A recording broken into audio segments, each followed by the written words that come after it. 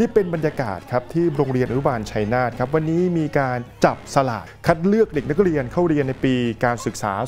2566 ครับมีผู้ปกครองเนี่ยนะครับพาน้องๆหนูๆครับมาร่วมการจับสลากกันอย่างคึกคักเพราะว่าโรงเรียนแห่งนี้ครับเป็นโรงเรียนระดับประถมศึกษาประจำจังหวัดครับผู้ปกครองหลายคนลุ้นด้วยสายตาอย่างเดียวคงไม่พอครับ จึงต้องพึ่งนะฮะสายมูหรือว่าสายศาสตร์ด้วยนะครับแต่ละคนก็มีการเอาน้ำดงน้ำแดงเนี่ยนะฮะมาบนที่ศาลตายาย สิ่งศักดิ์สิทธิ์ประจำโรงเรียนกันอย่างคึกคัก ซึ่งก็ถือว่ามันเป็นเรื่องของความเชื่อในเรื่องของความศักดิ์สิทธิ์ศาลตายายประจำโรงเรียนแห่งนี้ครับที่มีประวัตินะฮะมาตั้งแต่สมัยที่ตัวเองเรียนเมื่อถึงรุ่นลูกครับก็เลยมาบนบานสารกล่าวครับเพื่อให้ลูกหลานตัวเองนั้นฮะสามารถจับสลากแล้วก็ได้เรียนชั้นอนุบาลที่เมืองชัยนาทกันอย่างคึกคักครับ